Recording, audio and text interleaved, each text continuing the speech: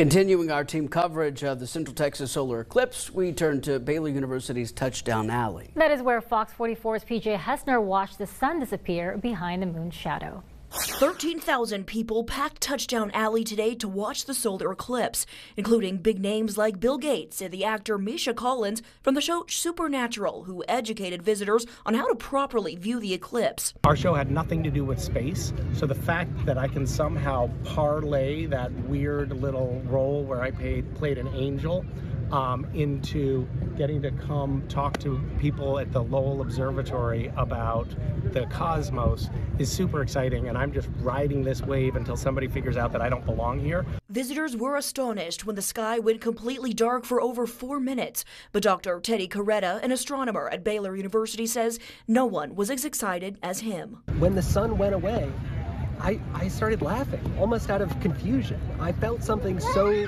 so fundamental. He says, as a scientist, it's easy to get caught up in processes, equations, and understanding situations from a science aspect. But today is an exception. I don't know any scientist who's seen a total solar eclipse who hasn't just shut that part of their brain off and felt something really deep, really fundamental.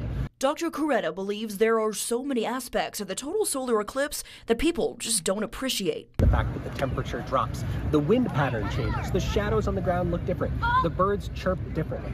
Every part of it tells your brain something important is happening. He says the next total solar eclipse we'll see won't be until 2044.